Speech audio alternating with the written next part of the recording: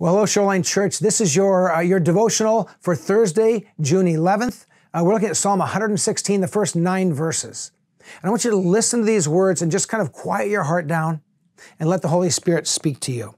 So, Psalm 116, beginning in verse 1. I love the Lord. What a great start for a psalm. I love the Lord, for he heard my voice. He heard my cry for mercy. Because he turned his ear to me, I will call on him as long as I live. The cords of death entangled me, the anguish of the grave came over me. I overcame my distress and sorrow. Then I called on the name of the Lord, Lord, save me. The Lord is gracious and righteous. Our God is full of compassion. The Lord protects the unwary. When I was brought low, he saved me. Return to your rest, my soul, for the Lord has been good to you. For you, Lord, have delivered me from death, my eyes from tears, my feet from stumbling, that I may walk before the Lord in the land of the living. Boy, this, this psalm could be a whole sermon, an hour long sermon, but I want to just address a couple things that kind of come out of this psalm that should speak to our hearts. First is this God is listening. He is listening to you right now, whatever your cry, whatever your need. If you're struggling with health challenges, if you're struggling with our economy right now, if you're struggling with the conflicts that are happening and, and have been happening around our world and around our country, cry out to God. He's listening. Tell him what's on your heart. If you're afraid, tell him you're afraid. If, if, you, if, you, if you're anxious, tell him you're anxious and ask for his peace. If you're confused, ask for his clarity, but know that God is listening. And then, and then the psalmist talks about anguish and entanglement and just a difficult time. And God knows what you're going through. I, I think it's almost, uh, almost humorous sometimes where we kind of keep our stuff inside and don't talk to God about our struggles as if He doesn't know. He knows the anguish that you feel. He knows the struggles that you're facing. So bring them to Him and set them at His feet. And then the psalmist has this beautiful declaration The Lord saves. Whatever you're going through, remember, it's God who saves. We can work hard towards things. We can look to different people and institutions to try to help us. But at the end of the day, the one who saves is the God Almighty who made us, who loves us, and who rules heaven and earth. He's the one who saves in this moment, and He's the one who saves eternally.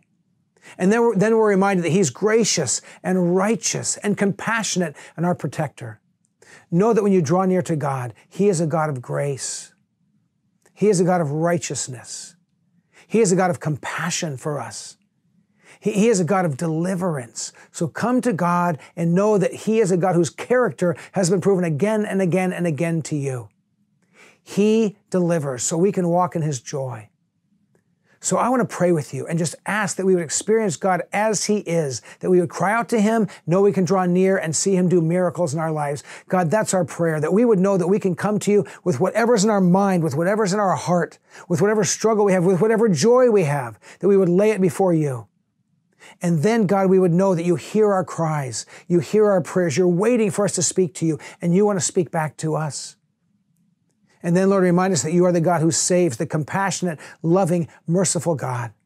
So, Lord, save us from our troubles right now. And Lord, in Jesus Christ, we thank you that you have saved us for eternity.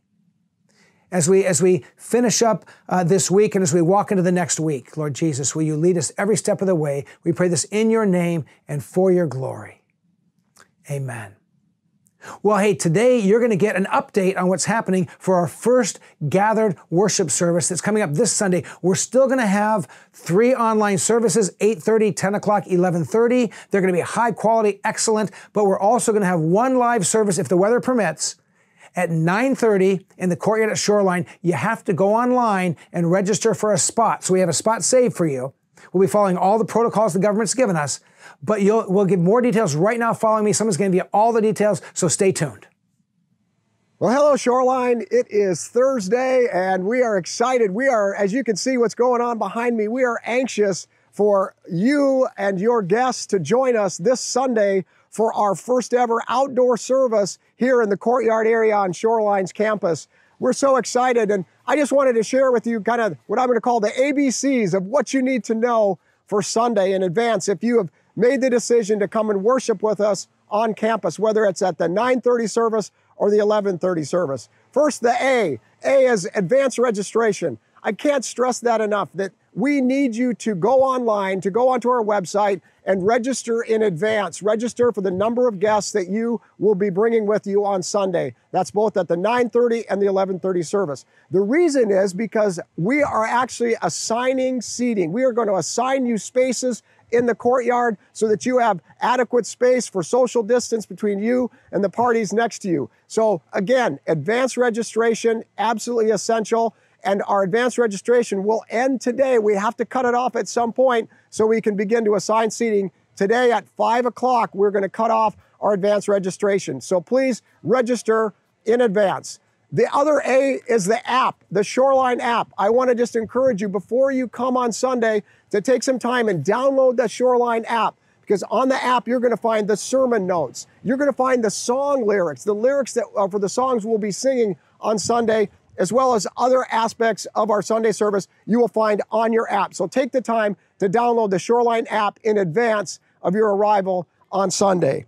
The B, what can I bring? What should I bring to the services on, on Sunday? First and foremost, as we all know, this part of history, don't forget your face covering because we're going to ask you to wear your face coverings as you move to and from your seat. So as you're entering into the parking lot, as you exit your vehicle, as you move up into your seating area, we're going to ask you to wear your face covering. And then once you get to your seat, you can take it off. Of course, as Pastor Kevin said last week, if you're going to sing in a robust manner, we're going to ask you to wear your face covering. And then when the services are over and you move back to your vehicles or you depart the campus, we're going to ask you to wear that face covering again. So don't forget to bring your face covering as well as we want you to bring your confirmation email. So whether you print out or whether you uh, bring it on your phone, that email that you receive from Shoreline when you register, please bring that as well. Well, where am I going to sit? Well, as we we want to have a you have a very comfortable seat. We're going to ask you to bring your own chairs because we're not going to have chairs here for you.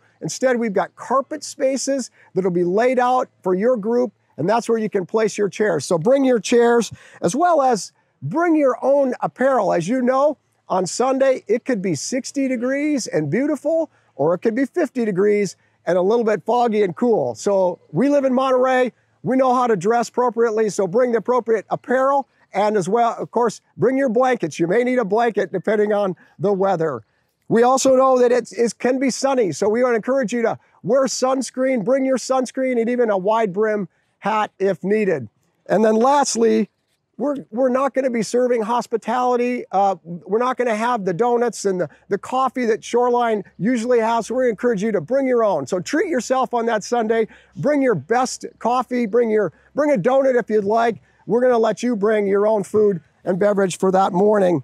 What's not to bring? Well, what should I not bring? We're going to ask you uh, if you love to sit in the sun or love to sit outside with an umbrella. On Sunday, we're going to ask you to leave your umbrella home. If it's raining, We'll let you know. We probably won't have services outdoors, but the umbrella, we don't want to block anybody else's view. So we're going to honor those around us as we worship God. So don't bring that umbrella. And also, because here on Shoreline, on our campus, uh, we, we don't want to have uh, any problems with uh, folks who decide to bring pets. We're going to ask you to leave your pets at home. Of course, service dogs um, are authorized here on the Shoreline campus. So if you have a service dog, we don't want you to feel you can't come you are welcome to come if you have a service dog. But as far as your pets, leave that precious puppy, leave that precious kitty at home, and we'll look forward to seeing you and your family and friends on Sunday.